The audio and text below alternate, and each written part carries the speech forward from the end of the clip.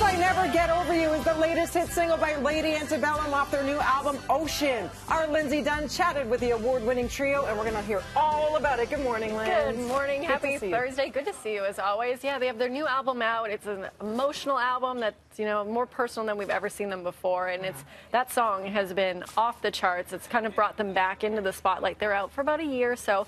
But, you know, everybody knows about their music. Yeah. I had the chance to sit with three of them, and it kind of went off the rails, which is tends to do when I interview somebody.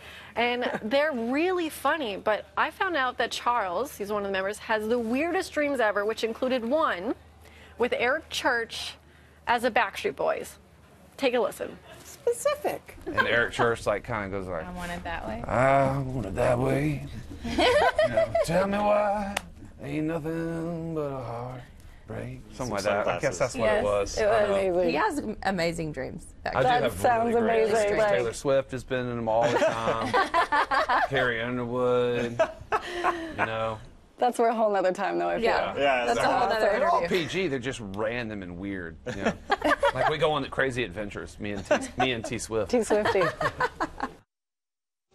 Always feel like a family when you see them together. Oh, they enjoy one another's company. They're just so relaxed and giving. Absolutely. And I was kind of like nervous. I'm like, is this just for show? Is it in the videos? But no, they really are like family, like best friends.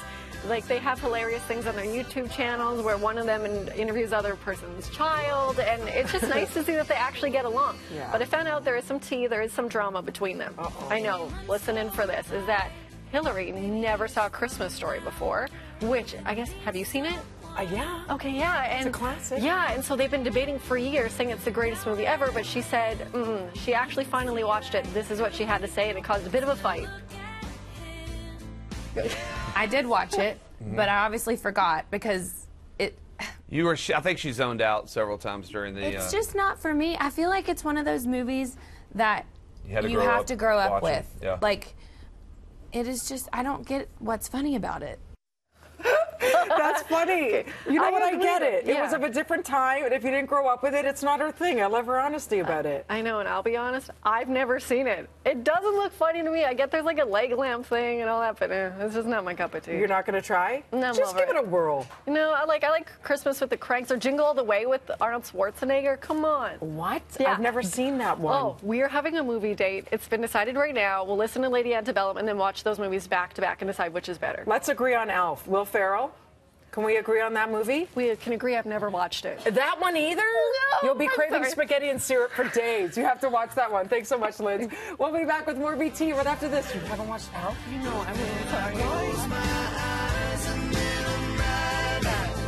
Lost in that